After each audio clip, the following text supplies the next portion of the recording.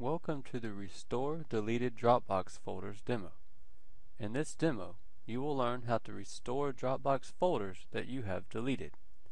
First, log in to your Desire to Learn account and go into your course. On the course navigation bar, click on the Dropbox link. A list of all of your Dropbox folders will be displayed.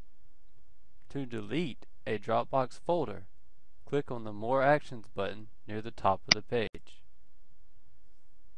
Click the Delete option. The Delete Folders page will appear. Place a check mark in the box by the name of the folder or folders you want to delete. For this example, we will delete Journal Entry 1. At the bottom of the page, click the Delete Selected button. Then click the Delete button to confirm that you want to delete the folders. Once you are returned to your Dropbox Folders page, you have the option of restoring any Dropbox folder you have deleted.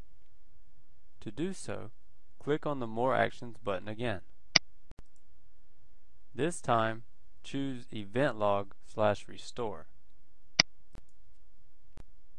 The event log will display all of your deleted Dropbox folders. Click the Restore button by the folder or folders you wish to restore. Click Folder List on the breadcrumb trail near the top of the page and you will see all of your current Dropbox folders. You have now successfully restored a deleted Dropbox folder.